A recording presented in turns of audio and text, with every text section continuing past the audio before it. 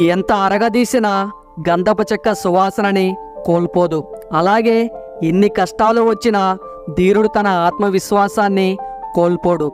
జీవితం మనకు చాలా అనుకూలంగా మారుతుంది. దానికి కావాల్సింది కేవలం మన అంగీకారమే. ఆలస్యం అవుతుందని పనులను ఆపవద్దు. ఎందుకంటే గొప్ప పనులు సమయాన్ని ఆశిస్తాయి. మన అజ్ఞానం గురించి తెలుసుకోవడమే నిజమైన జ్ఞానము. నిరంతరం వెలుగునిచ్చే సూర్యుడిని చూసి చీకటి భయపడుతుంది. అలాగే నిరంతరం కష్టపడేవాడిని చూసి ఓటమి భయపడుతుంది. జీవితం చాలా కష్టమైన పరీక్ష. దానిలో చాలామంది విఫలం చెందడానికి కారణం ప్రతి ఒక్కరి ప్రశ్నాపత్రం వేరని గ్రహించకపోవడమే. కష్టసుఖాలు సీజన్ వంటివి. అవి రావాల్సిన సమయానికి వస్తాయి. ఉండాల్సినన్ని రోజులు ఉంటాయి. పోవాల్సిన సమయానికి పోతాయి.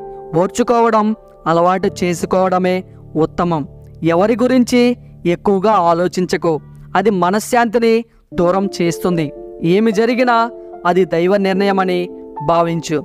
మనసు ప్రశాంతంగా ఉంటుంది.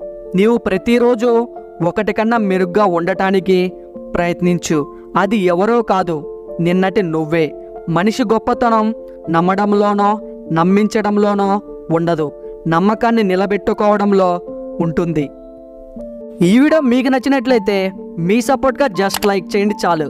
అలాగే మీకు ఇందులో ఏ పాయింట్ నచ్చిందో తప్పకుండా కామెంట్ చేయండి.